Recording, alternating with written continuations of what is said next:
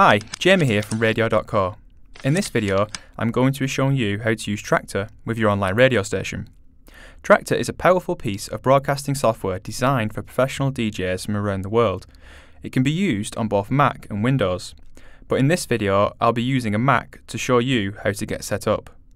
Traktor isn't free software, however, they have a free trial available, which I'm going to show you how to set up and use to broadcast live to radio.co.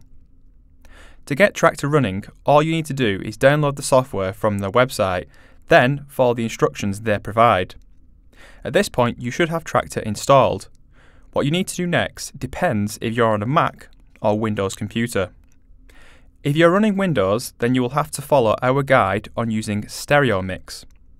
Alternatively, if you're running on a Mac, then you'll need to follow our guide on setting up Soundflower and Line In.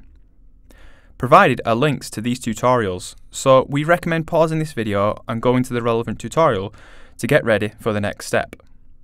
Both of these methods allow broadcasting software known as BUTT to play the sound coming from Traktor. Once you have BUTT up and running, enter your station's details found within your radio.co dashboard, which is your host, port, and password. Before you can broadcast a live event needs to be scheduled within your radio.co dashboard. Do this by heading to your schedule and selecting a day and time when you want to connect.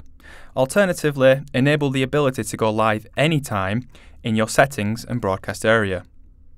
When you're ready to connect, play audio in Traktor and hit the play button in BUTT. You should see a successful connection established.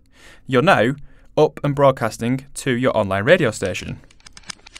Radio.co is a platform that's dedicated to live internet radio stations that allow you to run everything from your browser.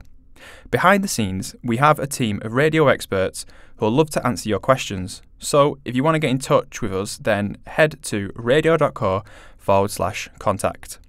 Alternatively, if you're not already with radio.co and you'd like to give us a try, then you can for free with your seven day free trial and get started today by heading on over to try.radio.co co.